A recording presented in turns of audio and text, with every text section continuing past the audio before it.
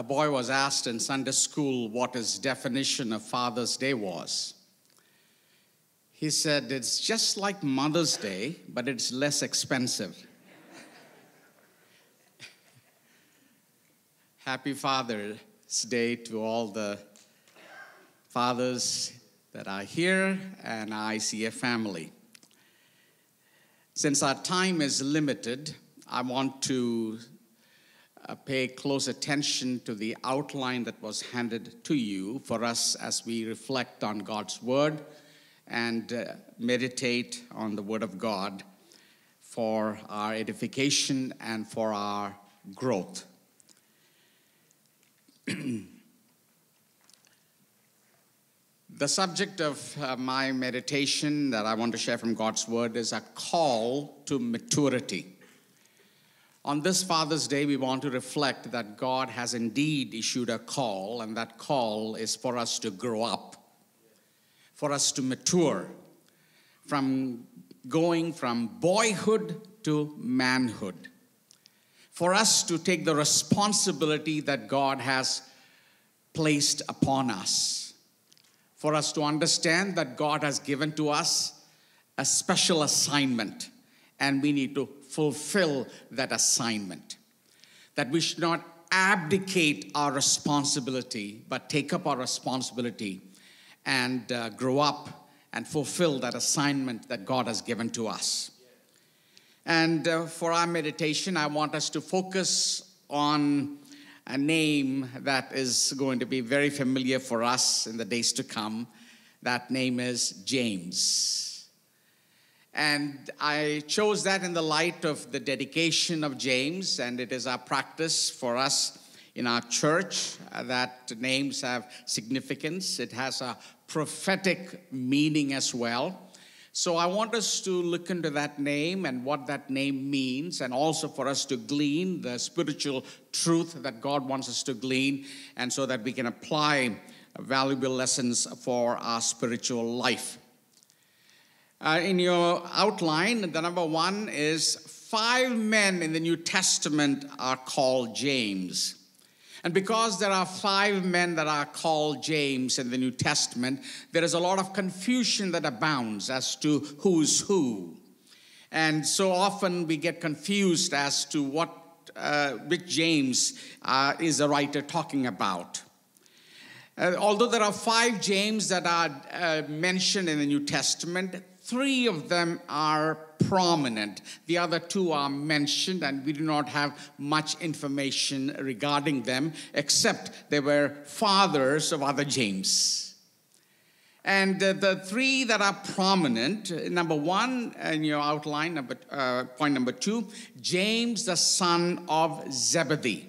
And we have most references concerning James, uh, the son of Zebedee, and there are 21 references in the New Testament concerning James, son of Zebedee.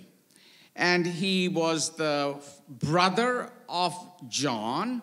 He was also an apostle that Jesus enlisted. And Jesus spent all night before he chose his 12 disciples or apostles, and he was one of them. And this James, son of Zebedee, worked with his father, and he also worked with his brother. And they were in fishing business, and we read of that in so many different places. In the lists of the apostles, his name is always mentioned number three. He is always mentioned number three in the list that is mentioned in the Gospels of Luke and Mark.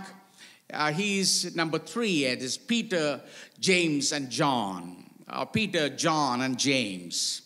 And uh, these uh, two brothers, James was the brother of John. John was the youngest of the disciples, and James was probably the oldest. And he was, uh, uh, they were called the sons of thunder. You remember that phrase that Jesus used, sons of thunder. And the reason why that phrase is used is these two brothers had a fiery temper. I'm sure they fought. How many of you have fought with your siblings? Okay? Thanks for all the honest hands that went up. uh, except Rajesh. You know, he, he, has never fought with his brother or sister. It's because he's, uh, he doesn't have one. But if you have a brother or sister, you always have a sibling rivalry. And James and John had a fiery temper. On one time, we find that James and John both asked Jesus permission to call down fire on a village that was full of Samaritans. And uh, the reason was these Samaritan people in that particular village did not receive Jesus. So, because they did not receive Jesus or accept Jesus, they said, Let's call down fire from, upon this village. But Jesus did not allow them to do that. And another time we find that they had the audacity uh, to come with their mother and approach Jesus and ask for special positions they knew it was only a matter of time when Jesus would overthrow the existing Roman government and establish his geopolitical kingdom. So they said, When you come into your kingdom, would you make sure that uh, one of us sit on your right and the other on your left? It was basically asking for key cabinet positions in when Jesus would come and establish his kingdom. And so we knew, we know that they had political ambitions. Uh, they were people that craved for power. They were people that longed for status and position. It was amazing that Jesus enlisted them as his disciples. People with different temperaments and different moods, all working together, and Jesus, how Jesus changed and transformed them to be his ambassadors and his witnesses. And later on, when you come to Acts chapter 12, we realize that he was the first apostle to die, to be executed, and to die as a martyr. And he was killed and executed by Herod, King Herod Agrippa I, and that we read in Acts chapter 12. And the incidents that happened in Acts chapter 12 took place 12 years after the death burial, resurrection, and ascension of Jesus. By that, uh, and then we find it was the same uh, James that Jesus took along with Peter and John to Mount Transfiguration. And they were given the privilege of seeing the, the, uh, the change and the transformation and the glory of Jesus on that Mount Transfiguration.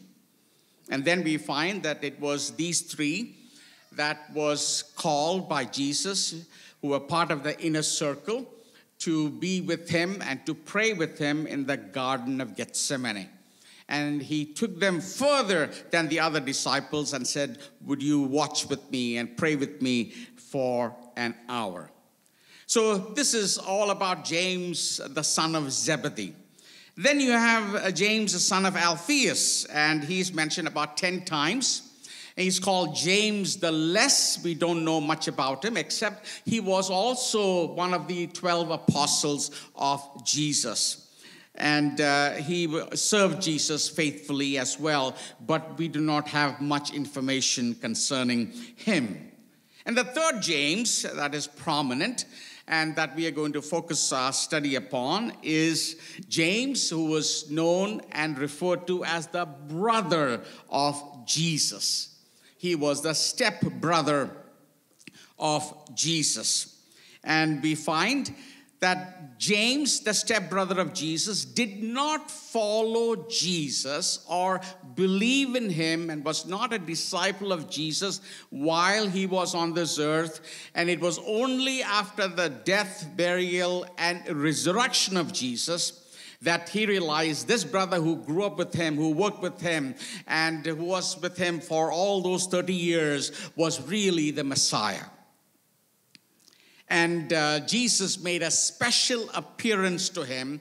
And Paul refers to that in 1 Corinthians chapter 15, verse 7, number 3 on your outline. Jesus made a special appearance to James after his resurrection. It was that special appearance of Jesus that made James a believer. He had high respect for Jesus. He knew that Jesus was a holy person. He knew that Jesus never lost his cool, never lost his temper, and he knew that he was a person who followed God. But it was hard for him to understand that his brother, his uh, sibling, was the Messiah. So it was very hard for him. And not only that, historians say that James was a Nazarite meaning that he had taken a Nazarite vow as a young person a Nazarite, uh, a person who takes a Nazarite vow, you know, he does not touch anything that is dead. So that means he would never attend a funeral. One reason why we don't read of him while Jesus was hanging on the cross. He never uh, uh, was there. Even though his brother was being crucified like a criminal, he refused to go there. And we see that he was not there to accompany his mother. Therefore, Jesus gave the responsibility of taking care of his mother to who? To John. He said, Behold your son, and behold your mother. So John happily took on that responsibility and said, I will take care of uh, uh, Mary, your mother. And so we find that uh, he was a person who took a Nazarite vow. He would grow long hair. And also, he was a vegan. He never touched any animal food. And that was because he was a Nazarite and he had taken on that vow. And he was a person who was given to the Old Testament. He knew the Old Testament. He studied the Old Testament. And he wanted to please God in every aspect of his life. He was very, very committed to his uh, vows to the Lord. And he did not touch uh, any strong drink. Uh, no fruit of the wine, and he was a person who was who abstained from anything that would be of a worldly nature. That was James, even prior to his conversion as a disciple and a follower of Jesus Christ. And then, when he had this special appearance of Jesus and he knew that his brother was indeed the Messiah, he was risen, uh, uh, risen from the dead, he ardently followed Jesus and became a disciple. Within 12 years or less than that, he became a prominent leader of the church. In fact, he became the senior pastor of the church in Jerusalem. He was more prominent than Peter or John. We read about Peter, we read about John, we read about Paul because they were engaged in missionary activities. Luke was recording the travels of Peter and Paul. Luke was recording what God was doing to expand the work of God. Luke was recording how Paul was uh, called of God to be an apostle to the Gentiles. The mission of James was his mission was to the Jews and he was the one who kept the church in Jerusalem together.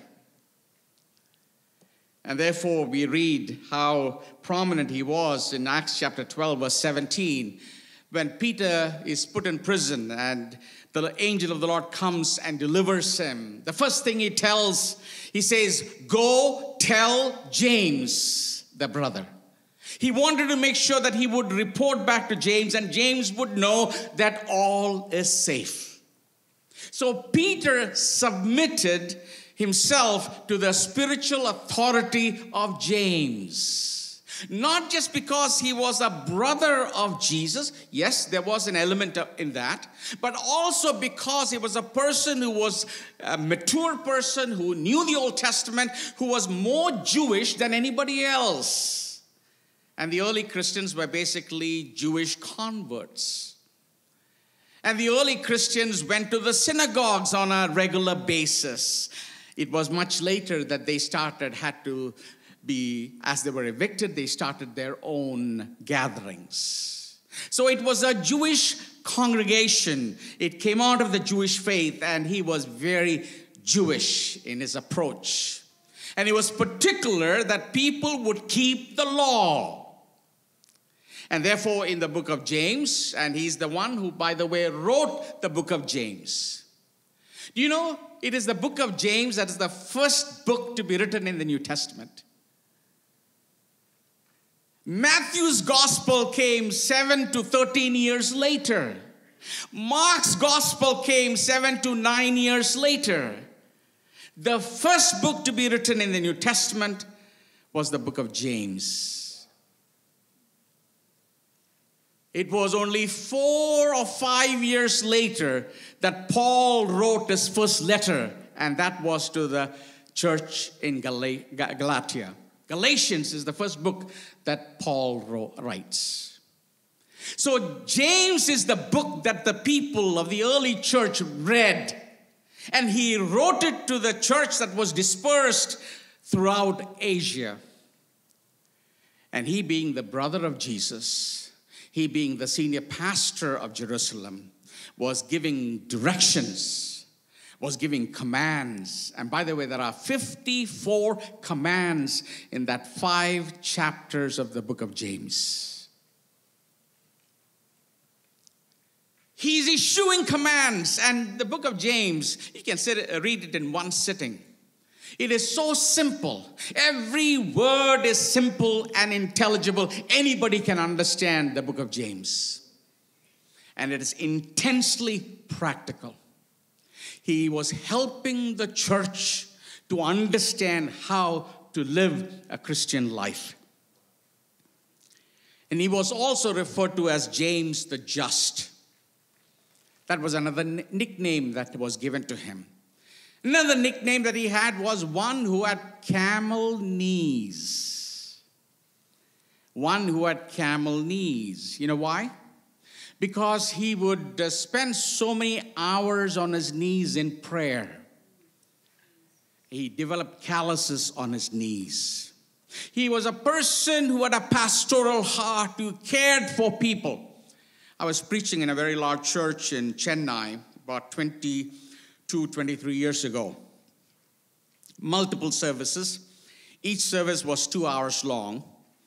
I noticed there was a man who was on his knees the entire service, except for the time of standing for singing, during an entire time of preaching, which was an hour long, and then all the other times he was on his knees. I asked the pastor later, is he like that all the time? He said, every Sunday. The entire time he's on his knees. Concrete floor, just straw mats. Imagine being on a concrete floor, straw mats, being on your knees for two hours. That's commitment. You don't go to sleep, by the way, if you're on your knees. James was a person who spent so much of time on his knees praying for people that he developed calluses on his knees.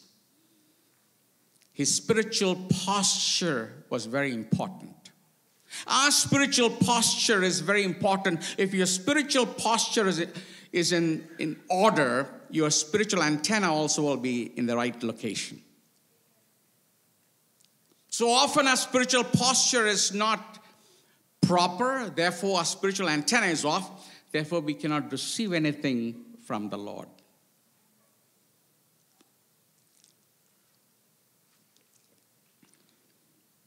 In Galatians chapter 1 verse chapter 1 and verse 2 some of the most valuable information that you will ever receive on Paul is written in Galatians chapter 1 and 2 he gives an insight into the life of James. He gives an insight into the life of Peter. He gives an insight into the life of the early church. And there in Galatians, you read that even Paul submitted himself to the spiritual authority of James. He said, I went to Jerusalem for with one purpose. I wanted to make sure that I have fellowship with James and Peter. He spends 15 days at one trip with Peter. He says, except for Peter, except for Peter, the only other person I was interested to see and spend time was James, the brother of our Lord. When James sent some of his representatives to find out what was happening, the church in Galatia received them with reverence and respect. When an ambassador of America goes to another country, the way you treat that ambassador is a reflection of how you treat the president of that country. When somebody sends somebody on their behalf, the way you treat that person is very important. So Paul says, We received the brethren that was sent by James. And Paul submitted himself and reported concerning his travels and ministry to James. In fact, Paul refers to him as an apostle. Peter refers to him as an apostle. He was not an apostle when Jesus was on this earth, but because he had a special appearance with Jesus, he was referred to as an apostle and later became the senior pastor, giving oversight to the mother church and even to Peter, John, and Paul. Number five, his authority is seen in the statement, Wherefore my sentence is. When you read Acts chapter 15, it's a powerful chapter that shows how important a council meeting was. They had a gathering of all the apostles because they had to debate and discuss and come to a conclusion of how they were going to treat the Gentiles and they were to set some standards as to what should be allowed and what should not be allowed. So there were a lot of questions in the early church. And so they listened to both sides. There was debate. They were listened to both sides. And some who were the Jewish legalists, they said, no, we must do this. They must be circumcised. And they began to debate about all these things. And the others who were working among the Gentiles, like Paul, said, no, we should not put these burdens on them. The Lord does not require those burdens. And James was the one who was chairing that meeting. He was a chairperson. And after he heard all the debate like a judge, he issues his decree and he says, Wherefore my sentence is, and brings that meeting to a conclusion. And we are practicing what we are practicing today because of what James did 2,000 years ago. Can you say, Praise the Lord? God chose James to be a spiritual authority figure in the early church and to execute things with justice. And it resonated in the hearts and the minds of all the people that were assembled there. His authority is seen the way he handled that meeting in Acts chapter 15. Number six, Paul recognized James along with Peter and John to be the pillars in the church. He uses that phrase, pillars, in the book of Galatians.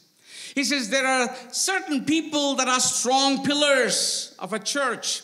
And the ones who were the pillars of the early church was Peter, John, and James.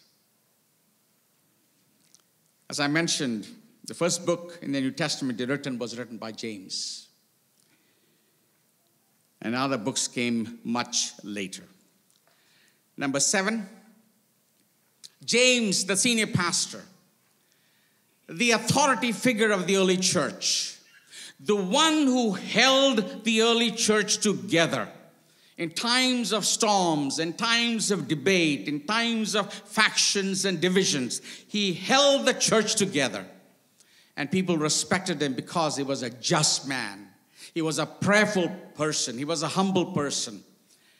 He was a person who knew the Word of God very well.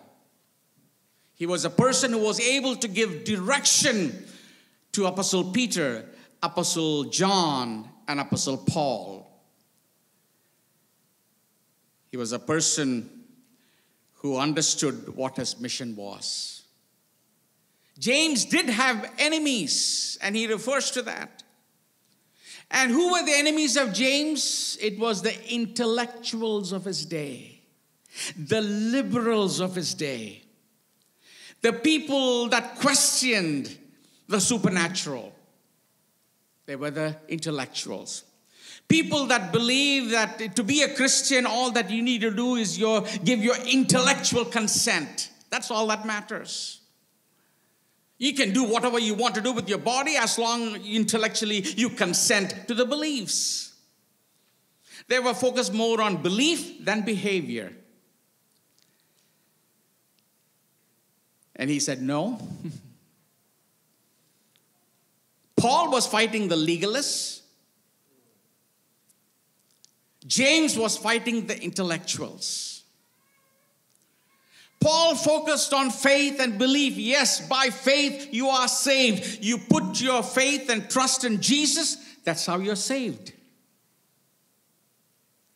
And when you confess with your mouth that Jesus Christ is Lord, believe in your heart, confess with your mouth, you become a Christian. Today we're going to have the dedication of James and Isabel.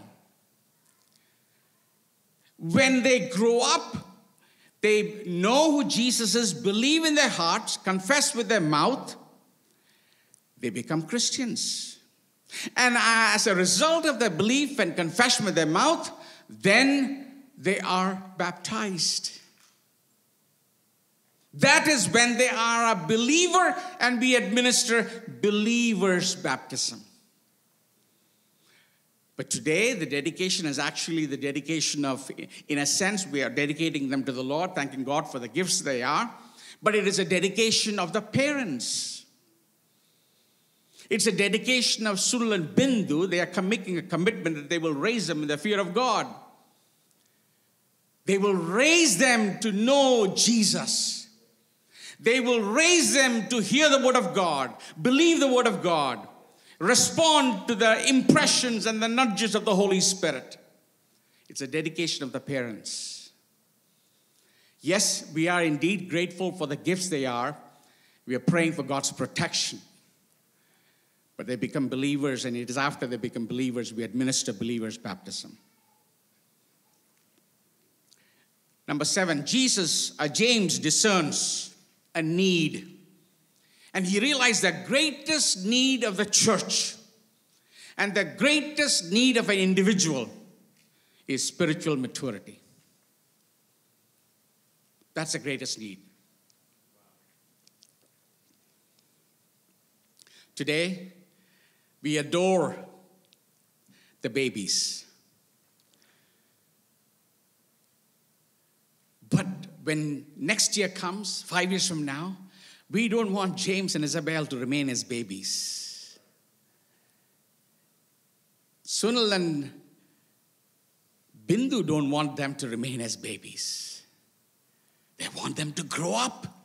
They want to be strong. They want them to be able to grasp things intellectually. They want them to be able to relate to other people. They want them to reflect greater traits and qualities in their life. God desires, and as parents, we desire our children to grow up. It's a call to maturity. And James, being the pastor, his greatest desire, and he discerned the greatest need of the church was spiritual maturity. Therefore, in the book of James, he's giving instruction after instruction after instruction. Grow up. Grow up. Don't remain as a boy or as an infant grow up to manhood, take up responsibility. So he's giving practical teachings. How can you know that you are growing? You are growing if you display, I want to confine because of the lack of time, five qualities. You are growing if you display these five qualities. And he refers to these qualities in his book, and I'm uh, taking it from the book of James. And number one, he says, You are growing if you display patience. Patience is a mark or a quality of a mature individual. You know, babies throw temper tantrums because they don't get what they want when they want it. They don't have the patience to what? Wait. Impatience causes trouble. And impatience later in our life causes you to do unholy things. Just reflect on the wrong decisions that you made. Just think of the troubles that came into your life because of impatient decisions. Paul, uh, James says, testings and tribulations produce patience, and patience produce maturity. I like an African proverb. It says, if you have patience, you can dig a well with a needle. That's a lot of patience, isn't it? if you have patience, you can dig a well with a needle. Patience is a mark of growth and mark of maturity. Number two, James says in chapter 2 that faith without works is what? Dead. He says, A person comes to you with need, and you use wonderful words, but never minister to them in kind. You are moved emotionally, but you never do anything for them. And James is helping us to ask ourselves are we turning our emotion into action? That's a second quality of a mature individual, he or she knows how to turn the emotion into what? Action. You're not just emotional, all of us are emotional creatures, some more than the others. And we express our emotions, but we don't do anything practical for anyone. James says, it is not enough if you are just an emotional person. You need to become intentional and do something. Turn your emotion into action. Faith without works is dead. James is telling us, and he gives numerous illustrations, that God is not impressed by your religious knowledge. God is not impressed by your degrees. You may be impressed. A few others may be impressed, but God is not impressed by my knowledge. God is not impressed by my academic degrees. God is not impressed by my emotional display. God is not impressed by how loud I shout, how much I cry or wail, but God is impressed by my faith and obedience. That is what moves God, your obedience. And that is what James is emphasizing. Turn your emotion into action. Turn your emotion into obedience. That is what impresses God. And then James in chapter 2 says, if you are really religious, you will always do three things. What are they? One, you will visit and care for the orphans. You will visit and care for the widows. And then he says, You will also make sure that you are not stained by worldly practices. You will not become corrupt. You will not go near to those evil, corrupt places that will corrupt you or stain you. That is real religion. You will make sure that you don't go near and you will not allow anything to stain or corrupt you. That is pure and undefiled religion. When he talks about royal law, what is a royal law? Thou shalt love thy neighbor as thyself. Thou shalt love the Lord your God with your heart, mind, soul, and strength. But thou shalt love your neighbor as yourself. And James calls it the royal law. It was given by Moses. You read that in the book of Leviticus, chapter 19. Then we read how Jesus himself sanctioned that. And you read that in the Gospels. And James teaches that. And by the way, it is still in effect. That law is still in effect. that law is not just confined to the New Testament, the Old Testament time, it is still in effect. That is why James calls it the royal law. Number three, you are growing and you are spiritually mature if you have tamed your tongue. You are mature and growing if you tame your tongue. James says it's the smallest member, but the hardest member to tame or control. In our own strength, we cannot control our tongue. Only God can help us control our tongue. James says, tongue will stain the body. A tongue can ignite fire, divisions, and factions. It can cause restlessness, and it is full of deadly poison. He says, allow God to control your tongue. He says, You are not a mature person, you're not growing spiritually if you have not learned to put a bridle on your tongue. Number four, you're growing, you're mature, and you are maturing if you know how to pray with the right motive.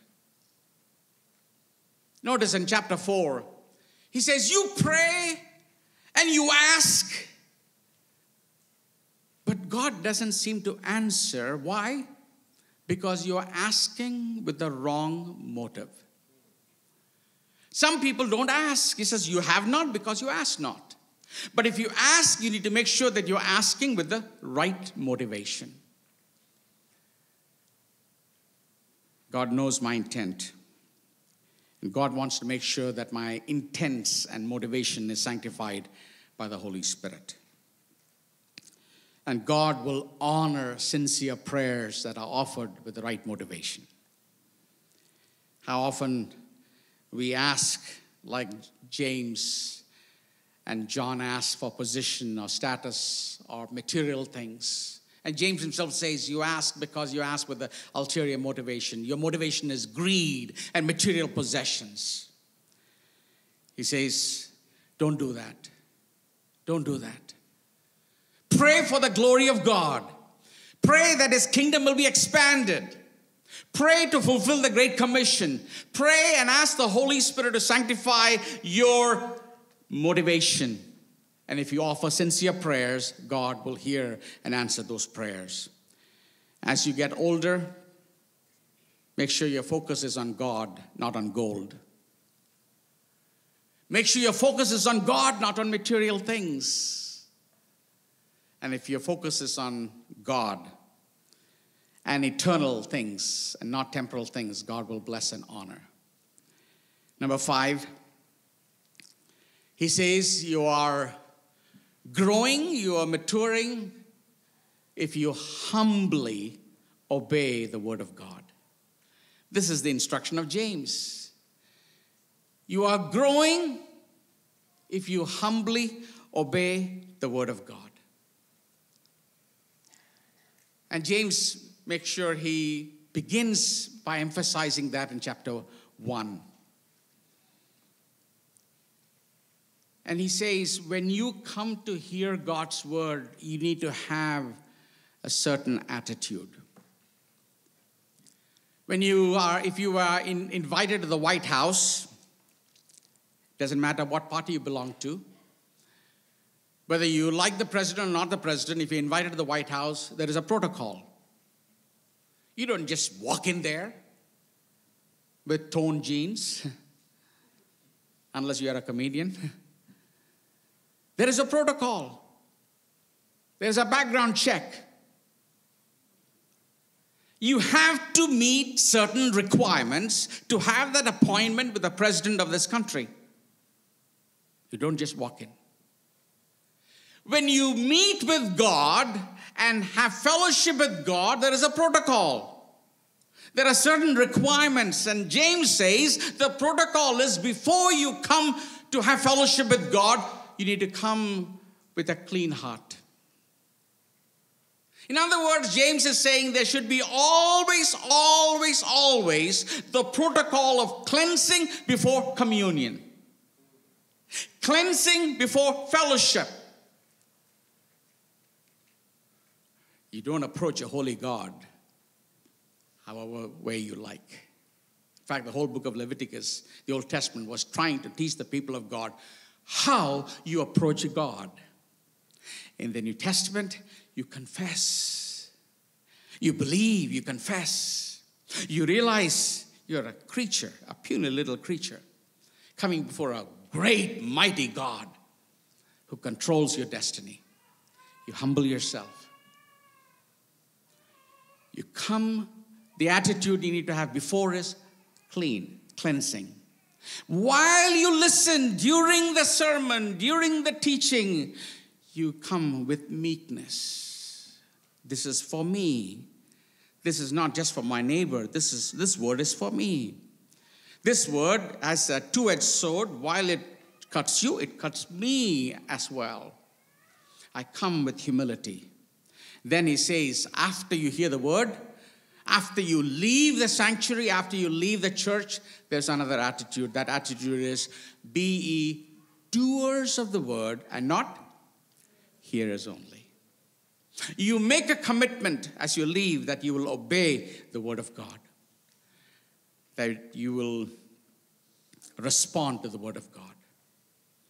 Humble obedience is a mark of maturity, is a mark of growth.